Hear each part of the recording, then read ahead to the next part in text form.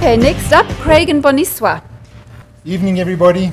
It's a real privilege to be here, and for me, it's, it's always wonderful to have people on campus here with us, but to have people that are so passionate about education and that's so passionate about making a difference in children's lives. And so that's, that's the only reason why you're here. Um, and and we we celebrate that at Monash. And so for me, just to look around the room and just realize that there are people making such an impact in our nation, it is such a privilege.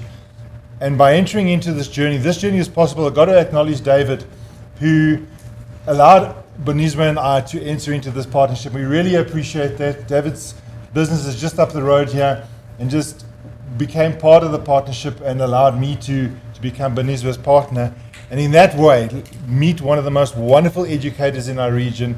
So it's a great privilege to be part of this, and it's because of, again, partnership. It's because we are and people have a vision for education that we can do things together. And so I'd like to hand you across to Boniswa, who's been a wonderful partner, and we're excited about our journey together. The reason why we joined uh, a PFP is because we're also underperforming. We're, we're ranked as one of the schools that were underperforming. Um, so we joined it. Uh, when we joined uh, PFP, I was invited to something that said something, something Symphonia, and I didn't know what it was. I thought it was something about music, and I was, I was not very, I was not very happy that day when I, I, I attended that thing. But you know, it's one of those things that you, you told to do, then you do it.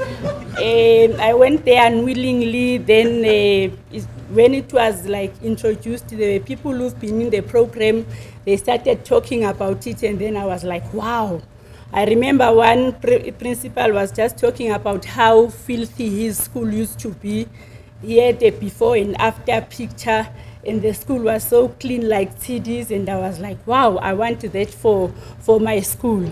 Then I was enthusiastic, and then I didn't know that I was to meet this wonderful gentleman, Craig Rowe of Monash. And I just want to thank uh, all of you, my wonderful colleagues, the wonderful times we had throughout when, when, whenever we met during our corps, during our training, flawless thinking, community, you know, it was wonderful. And uh, Craig and I have come to the decision that uh, it, that it won't end here. And I know with you as well, I'm extending that invitation to say, the program may be coming to an end, but we're definitely not coming to an end because the learner is still there, the needs. Yes. Thank you.